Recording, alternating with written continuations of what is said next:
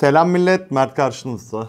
Bugün o çok beklediğiniz, uzun süredir bahsettiğim ama bir türlü çekmediğim bir video ile karşınızdayım. Çoğunuz bekliyorsunuz. Beni Telegram'dan takip edenler zaten bu videonun geleceğini biliyordu. Takip etmeyenler de şurada çıkacak Telegram'ımı takip edebilirler. Bazı şeyleri önden öğrenebilirsiniz oradan. Bir de güzel bulduğum ürünleri ve indirimleri paylaşıyorum. Neyse sadede geleyim. Bugün şu ana kadar incelediğim, hala satılmamış olan elimdeki tüm ürünleri ikinci el olarak satıyorum. İsteyenler çok oluyordu. Instagram'dan yazıyorlardı veya farklı bir yolla ulaşıyorlardı. Birçok ürünü de sattım ben daha öncesinde ikinci el olarak cüzdi miktarları. Artık dedim böyle bir video yapayım. Hepsini yükleyeyim. Herkes istediği gibi alsın. Çünkü sadece İzmir'dekilere veya bana güvenenlere yollayabiliyordum. Tüm ürünleri sizin de kendimin de güvenliğini sağlamak amacıyla dolap uygulamasından satacağım. Tüm gördüğünüz ürünlerin linkleri aşağıda açıklama kısmında olacak. Tıklayarak fiyatlara bakabilirsiniz ve ürünleri inceleyebilirsiniz. Hepsinin altına kısa açıklamalarını yazdım. İşte kaç gün kullandım, garantisi var mı yok mu gibi özelliklerin hepsi yazıyor. Linklere tıkladığınızda uygulama sizde yoksa uygulamayı atacak. Uygulamayı indirmeniz gerekiyor ürünleri görmeniz için. Neyse daha fazla uzatmayayım. Hadi ürünler gelsin.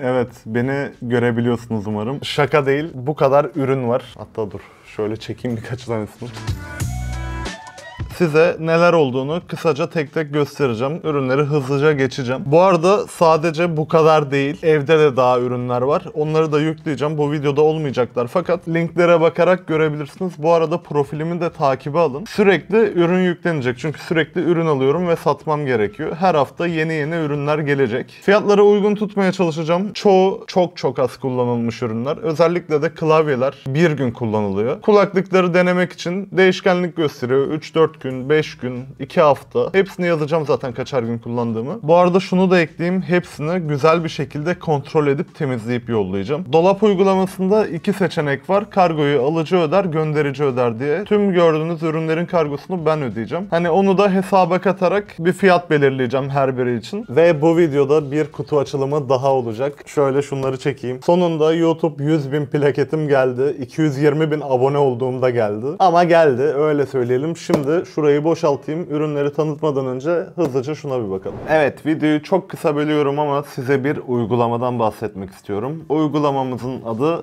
Barti. Barti bir takas platformu. Uygulama içerisindeki alışverişlerinizde sanal olarak kullanılan Barti puanlarla alım satım yapabiliyorsunuz. Yani nakit akışı olmayan bir takas sistemi diyebiliriz. Şimdi size Barti'nin çalışma şeklini adım adım anlatayım. En başta ürününüzü yüklüyorsunuz. Yüklediğiniz ürün için bir Barti puanı belirliyorsunuz belirliyorsunuz. Bu puanı belirlerken de Barty size yardımcı oluyor. Makine öğrenmesi sistemiyle birlikte siz tüm ürün detaylarına girdiğinizde size ortalama olarak bir Barty puanı veriyor. Yani şöyle düşünebilirsiniz. Atıyorum bir kulaklık yüklediniz. Diyor ki Barty size bu 3000 Barty puan eder. Ortalama bir değer biçiyor diyebiliriz. Tabii ki siz bu değerlerin dışına çıkabiliyorsunuz. İsteğinize göre daha yüksek veya daha düşük değerlerde ürününüzü ilana ekleyebilirsiniz. Evde atıl şekilde duran, boşuna yer kaplayan veya uzun süredir kullanmadığınız ürünleri Barty'ye yükleyerek yeni şeyler alabilirsiniz. Ürünü sisteme yükledikten sonra size teklifler geliyor. Tabii ki bu teklif verenlerle diyalog kurabiliyorsunuz uygulama üzerinden. Siz de aynı şekilde beğendiğiniz bir ürüne teklif verebilirsiniz. Alıcı ile anlaşma sağladığınız takdirde Barty'nin anlaşmalı olduğu kargo firmalarıyla uygun fiyata gönderebiliyorsunuz ürünlerinizi. Kargo alıcı ödemeli mi, gönderici ödemeli mi bunu da seçebiliyorsunuz. İki tarafta kargo fiyatlarını uyguna getirmiş oluyor. Bu çok güzel bir avantaj avantaj. Yanda çıkacak hatta biraz arayüzü de göstereyim. Gayet temiz, anlaşılır bir arayüz var. Görüyorsunuz bu şekilde puanlamalar yapılmış. Barty bu konuda size yardımcı oluyor. Hani neye ne puan vereceğim diye düşünebilirsiniz. Hiç korkmayın. Mesela ben yaptığım takası göstereyim size. Tamamlananlar. Ben ofiste Xiaomi Mi Box S kullanıyorum. Eve de almam gerekiyordu projeksiyona bağlamak için. O yüzden arayışa girdim. Barty'de de şansıma vardı. Hadi deneyeceğim dedim. Madem bu şekilde deneyeyim. Barty'nin verdiği hediye puanlar dışında bir puanım yoktu. O yüzden puan satın aldım. O sırada da ben de deneyim dedim. Bir tane de ürün yükledim. Şansıma şöyle bir durum oldu. Benim ürünü takasladığım kişi benim koyduğum ürünü de takasladı. Yani karşılıklı bir alışveriş yapmış olduk. Bu alışverişleri yaparken biz PTT kargoyu kullandık. İkimiz de aynı günde verdik. Aynı günlerde elimize ulaştı. Ardından iki tarafta onaylayınca puanlar birbirimize geçti. Açıkçası güzel temiz bir alışveriş oldu diyebilirim. Şu an elimde hala 8000 küsür Barty puanım var. Bunlarla ana sayfadaki fırsat fırsatlar bölümünden işte hediye çekidir, Steam kodudur gibi dijital hizmetleri de satın alabiliyorum. Burada bayağı hizmet var. Bu arada fırsatlar da oluyor. Onları takip etmeniz lazım.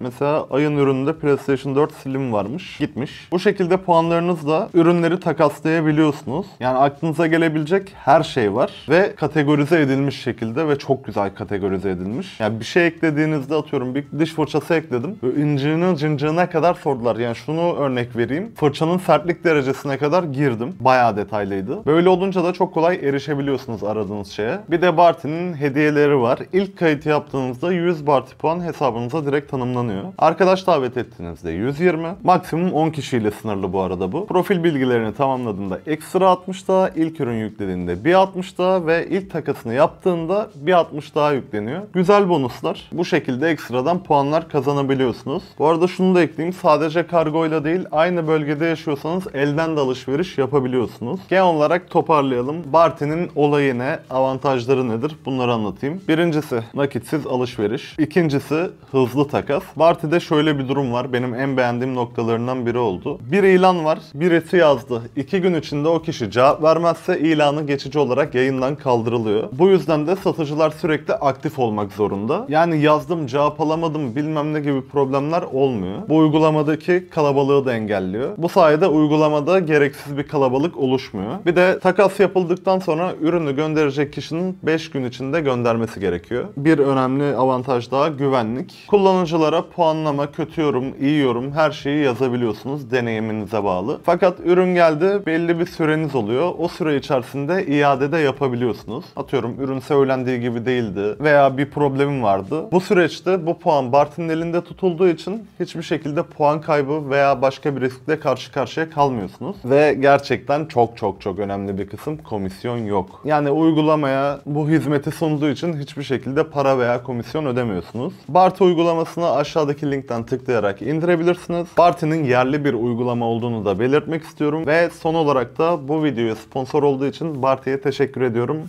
Hadi videoya devam. Evet. Bu arada hazırlanması bir 10 gün kadar sürdü bu plaketin. Gelmesi de 2-3 gün sürdü. Bakalım. Bizim de plaketimiz oldu. Bazı insanlar bu durumu yaşıyor. Bazıları 100 bin oluyor, 102 bin abone olmadan plaketini alıyor. Mesela Porçay'ın da 400 bin aboneden sonra gelmişti plaketi. Tuhaf. Bu arada plaketi getirtebilmek için de biz uğraştık. Emre sağ olsun Google yardıma yazdı, YouTube yardıma yani. Öyle bir şekilde söyledik bizim dedik ödül nerede dayı? Açıyorum.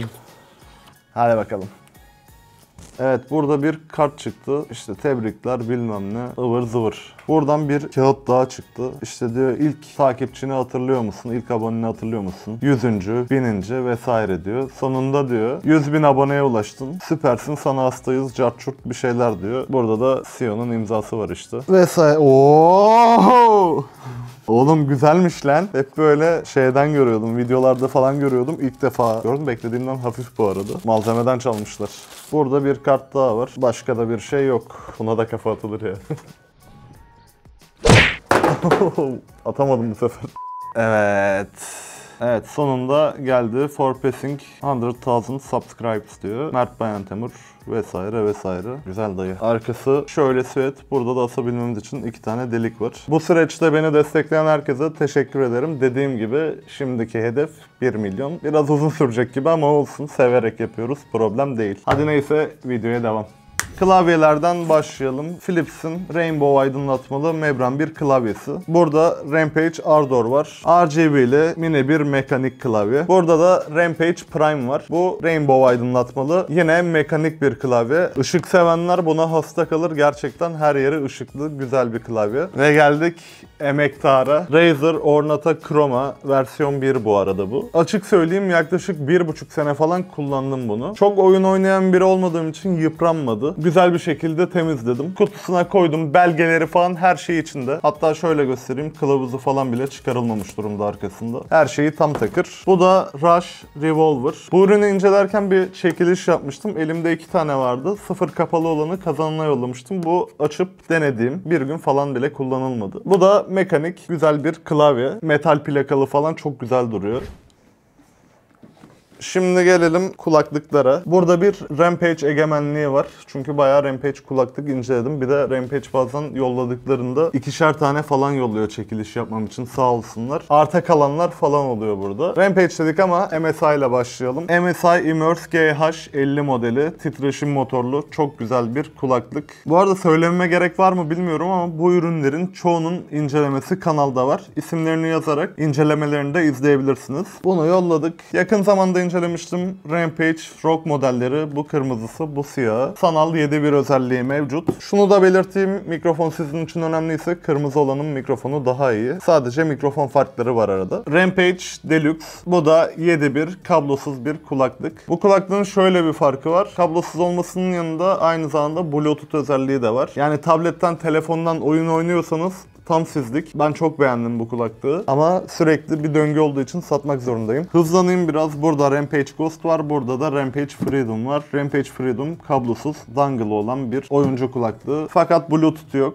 Sadece bilgisayarınıza, Xbox'ınıza, konsollara bağlayabilirsiniz. Bunun da incelemesi yakında geliyor. Bilginiz olsun. Bu da yine sanal 7.1 destekleyen 50 mm sürücülere sahip olan bir oyuncu kulaklığı. Kaldırdık ve geldik müzik severlerin göz bebeklerine. Bu elimde Jabra Elite 85H modeli var. Aktif gürültü engelleyicisi var. Hear True var. Dışarıdaki sesleri falan dinleyebiliyorsunuz. Gerçekten güzel bir kulaklık ama biraz tuzlu. Uygun bir fiyata ilanlara ekleyeceğim. Yani bir hafta falan kullandım ve çıtır çıtır tertemiz bir şekilde duruyor. Hatta şunu da ekleyeyim. Kabloları bile açılmadı. Başka kablolar kullandım şarj etmek için. En son incelediğim ürün Tatronics markasının Sound Surge 85 modeli. Bu da söylediğim gibi fiyat performans aktif gürültü engelleyiciye sahip bir kafaüstü kulaklık. Şimdi gelelim TWS yani TVS kulaklıklara. Birinci sırada Hyphen 2 var. Şu an Türkiye'de satılmayan bir kulaklık ve inanılmaz güzel bir kulaklık. Muhakkak incelemesini izleyin. Ardından yine Jabra markasının Elite Active 75T modeli. Su geçirmeyen güzel bir sporcu kulaklığı. En uzun kullandığım kulaklıklardan biri olabilir. 15 gün falan deneyimledim. Çok memnun kaldığım bir kulaklık ama fakat bir sürü kulaklığım var. O yüzden satılığa çıkarttım. Kulak içi olduğu için çıkarttım. Ben genellikle açık kulaklık kullanmayı tercih ediyorum ama kulak içi kullansam tercihim kesinlikle bu olurdu. Geçtik. Şimdi geldik çakma AirPods'lara. Bir tane çakma AirPods Pro, bir tane çakma AirPods 2, bir tane daha Pro, bir tane daha Pro, 3 tane Pro, bir tane de AirPods 2 var elimde. Bu arada şu üçlü son incelediğim modeller bilginiz olsun. Bu da çok uzun süredir çekmecede duran Display ANC Shield Pro modeli. Yani aktif gürültü engelleyicisi var. Dokunmatikleri çıtır çıtır çalışıyor. Güzel beğenerek incelediğim bir kulaklıktı. Ama şunu hatırlıyorum gürültü engelleyicisi çok başarılı değildi. Onun dışında bir problemi yoktu. Ben bu arada pazarlamaya çalışmıyorum. Hani alırsınız almazsınız size kalmış. Sadece çok ürün birikti elimde. Artık bir nakite çevirmek istiyorum. Gerçekten böyle koyacak yerim kalmadı. Dolaplar falan ağzına kadar dolu ve gelmeye devam ediyor. Hem siz yararlanın hem ben biraz rahatlayayım. Neyse devam edeyim. Yine Tautronics markasından iki tane kulaklığımız var. Bir tane Sound Liberty 53 modeli. Pro olan değil. Pro'su da yakında geliyor. Onu da ilana ekleyeceğim. Kulak içi bir kulaklık. Bu da Sound Liberty 92 modeli. Açık bir kulaklık. İkisini de inceledim. İkisi de gerçekten fiyatına göre şahane kulaklıklar. Evet artık karışıktan gidiyorum. Bu Tao portatif bir powerbank. İçinde kendi kablolarını bulunduruyor. Yani yanınızda ekstradan şarj kablosu taşımanıza gerek yok. Burada da 59 liraya aldığım kameralı akıllı saatimiz var. Case for you. Burada da iki tane akıllı diş fırçamız var. Tabii ki şarjlı. Üstünde dijital ekranı falan var. Bunun incelemesi yakında gelecek. Elimde birkaç tane var. O yüzden bunları satabilirim. Hiç açılmadı. Onu söylememe gerek yok.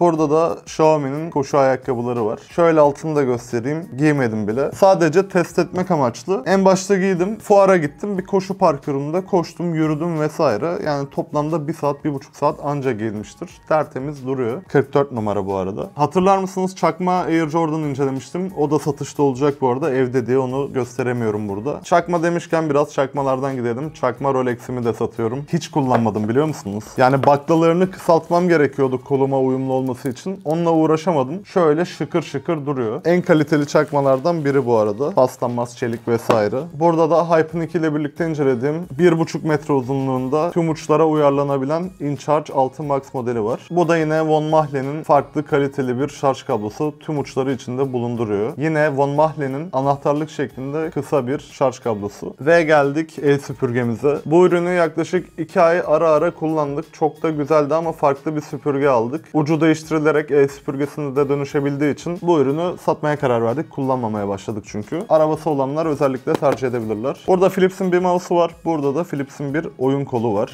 Evet artık sonunculara geldik. Burada Apple Watch'um var. Apple Watch'umdan memnunum. Sıkıntı yok. Ama incelemek için 6 modelini almak istiyorum. O yüzden satıyorum. Çok az çok temiz kullanıldı. Bir tane çizik bile yok üstünde. Bunu pazarlıyorum. Daha hatta içinden çıkan siyah kordonu hiç açılmadı bile. Apple Watch demişken iki tane de çakma Apple Watch'um var. Bu son incelediğim. Kırmızısını size çekilişte hediye etmiştim. Bu mavi olanı. Bu da bir önceki incelediğim daha ucuz olan model. Bu da gümüş rengi. Bunun da siyahını size çekilişte vermiştim. Ama çekiliş yapmışım ha. Hani bunun altına da ya satıyorsun niye çekiliş yapmıyorsun demeyin. Zaten YouTube Türkiye'de en çok çekiliş yapan insan benim. Buna emin olabilirsiniz. Var mı benden fazla yapan? Ben sanmıyorum. Vardır demeyeyim yoktur da bilemedim.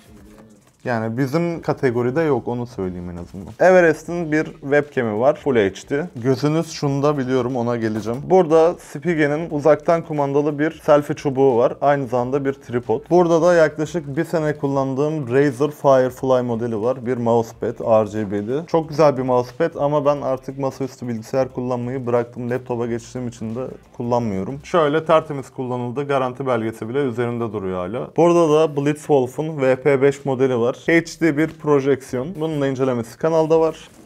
Ve geldik reise. İncelediğim MacBook Pro. Evet satıyorum. Neden satıyorum? M1 işlemcili MacBook Air almaya karar verdim. O yüzden satıyorum. Memnun muyum? Çok memnunum. Fakat M1'li versiyonun pil performansı daha iyi olduğu için ona geçmeye karar verdim. Bir de edit vesaire yapmıyorum. O işlemleri masaüstü bilgisayarda yapıyoruz Emre ile. Yani maillerime bakıyorum, internette geziyorum. O yüzden Pro'ya da ihtiyacım yok. Air yeterli. O yüzden öyle bir karar aldım. O yüzden bu da satılık. Daha tertemiz, çıtır çıtır. Pil devri 100 civarlarında. Çiziği bile yok. Pırıl pırıl duruyor. Ve yanlış söylemeyeyim. Daha 20 ay falan garantisi olması lazım. Evet. Açıkçası yoruldum. Say say bitmedi. Dediğim gibi burada saydıklarımdan daha fazlası aşağıda olacak. Sizden ricam pazarlığa çok girişmeyin. Hani çok fazla ürün olduğu için bir de çok fazla insan göreceği için bu ürünleri yetişemeyebilirim. Fiyatları uygun tutmaya çalışacağım. Aklınıza takılan bir soru olursa aşağıya da yazabilirsiniz. Tekrarlıyorum kargolar bana ait. Ürün size ulaştığında herhangi bir kargo ödemenize gerek kalmayacak. Neyse yavaş yavaş kaçayım artık ben.